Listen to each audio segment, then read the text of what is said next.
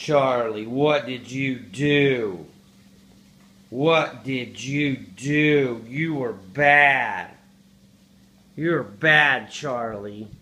What'd you do to my hat? What did you do? What'd you do to my hat, Charlie? How come you chewed up my favorite hat? You know that's my favorite hat. And you chewed it up. Why'd you chew it up, Charlie? Why? Why'd you chew it up? Why'd you chew it up? You know that's my favorite hat, Charlie. Why'd you do it? Why?